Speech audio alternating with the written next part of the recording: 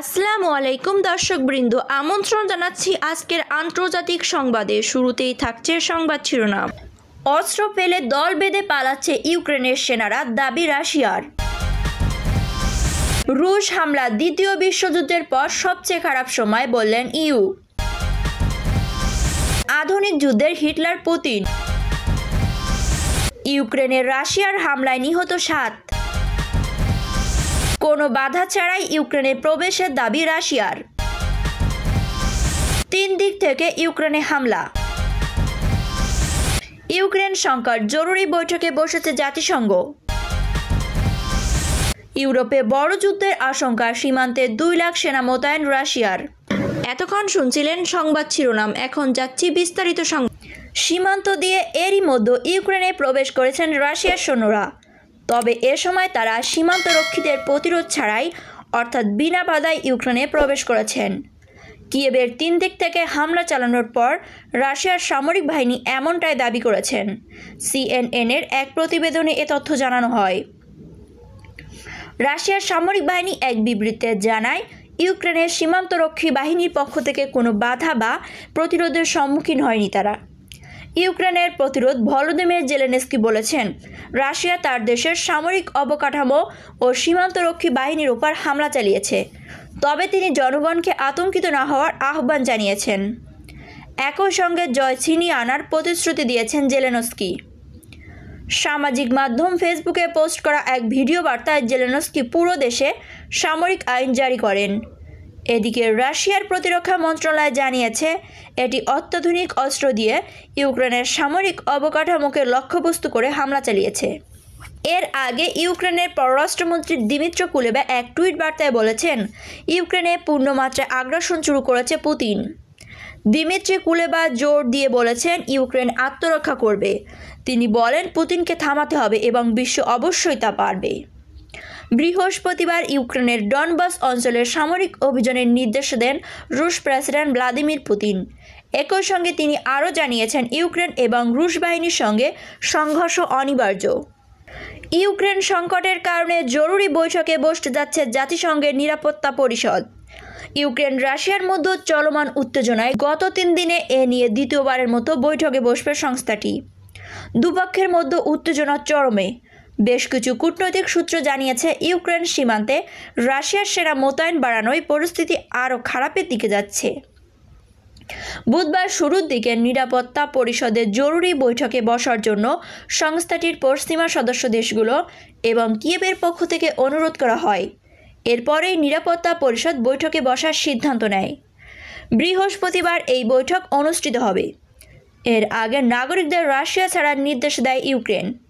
রাশিয়ায় বর্তমানে প্রায় তিরিশ লাখ ইউক্রেনের নাগরিক বসবাস করে। এমনকি অনেকেই পরিবারের সদস্যরা এই দুই দেশে অবস্থান করছেন।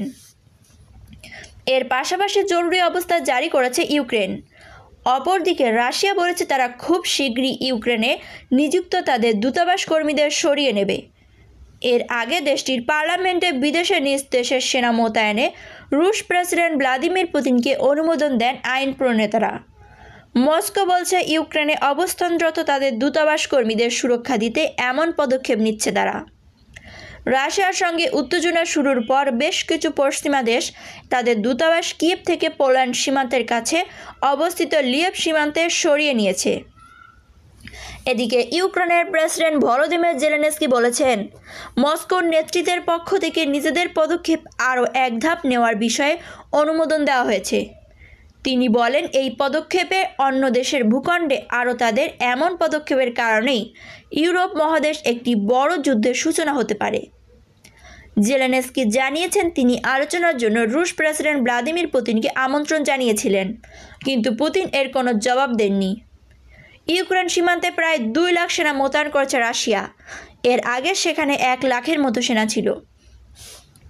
এদিকে ক্রেমলিন বলছে, ইউক্রেনের রুশপন্থী বিদ্রোহীরা কিয়েবের বিরুদ্ধে মস্কোর কাছে সহায়তা চেয়েছে।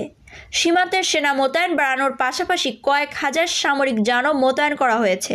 ইউক্রেনে হামলা চালিয়েছে রাশিয়া। ইউক্রেন বলছে, তিন দিকের সীমান্ত দিয়ে তাদের দেশে হামলা চালানো হয়েছে। রাশিয়া, বেলারুশ এবং ক্রিমিয়া সীমান্ত দিয়ে ইউক্রেনে হামলা চালানো হয়েছে।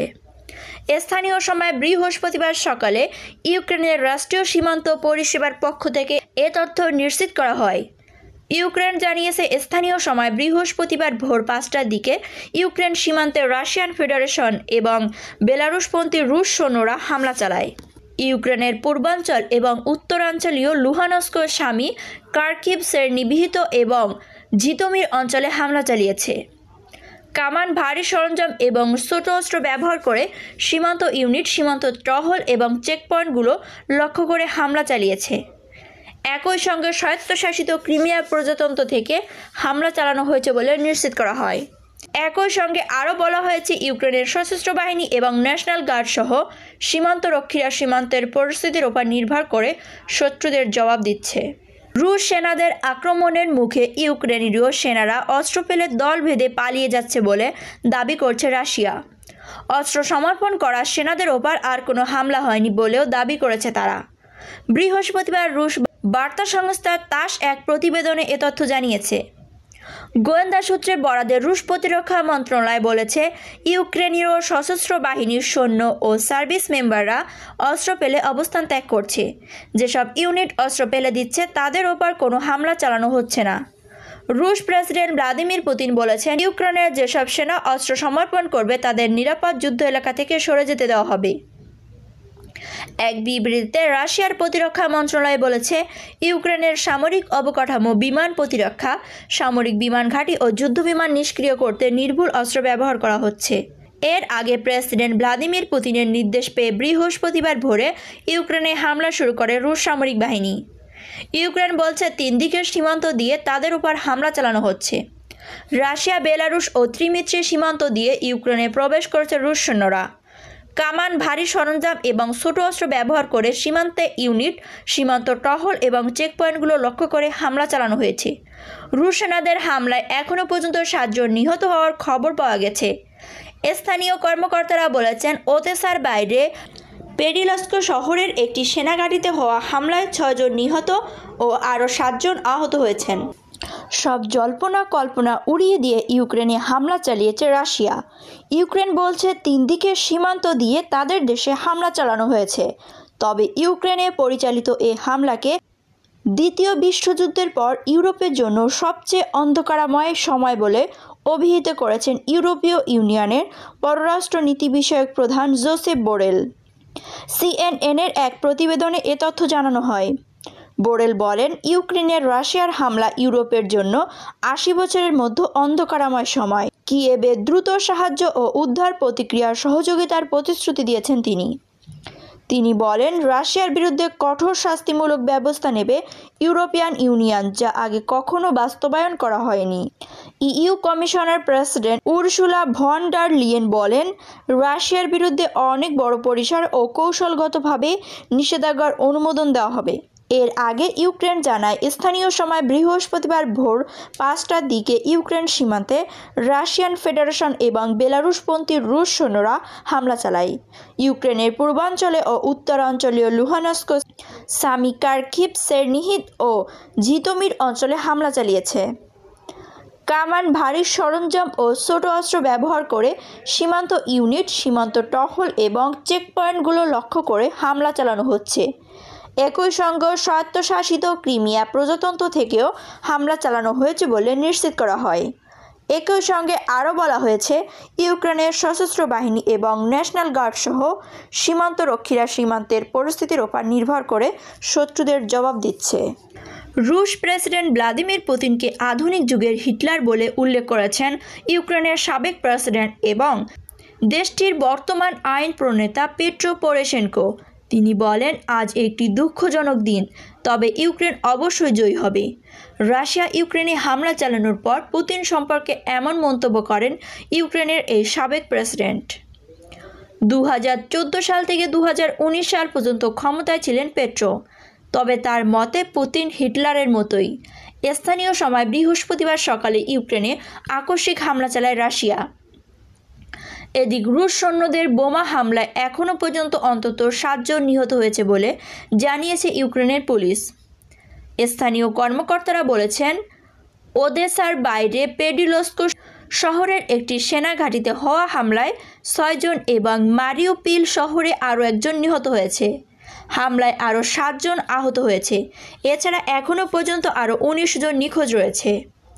রাশিয়া হামলা চালানোর পর ইউক্রেনের রাজধানী কিয়েভে জরুরি সাইরেন বাজানো হয় এবং বিভিন্ন গণমাধ্যমে প্রকাশিত ছবিতে দেখা যায় যে মহাসড়কগুলোতে শহর ছেড়ে যেতে চাওয়া মানুষের গাড়ির ভিড়।